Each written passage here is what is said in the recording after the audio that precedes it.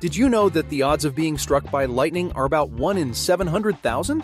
And the odds of finding water in the desert are even lower. But what about rolling dice for four hours straight without throwing a 7? Patricia DeMauro, a grandma from New Jersey, did the impossible at Borgata Hotel Casino and Spa in Atlantic City. She played craps for 4 hours and 18 minutes, rolled the dice 154 times, and didn't throw a 7.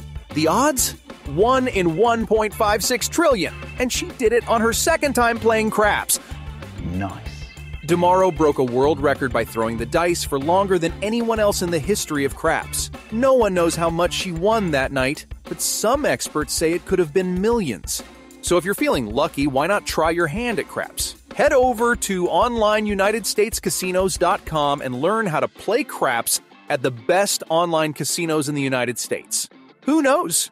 You might just roll a lucky seven. Or maybe not.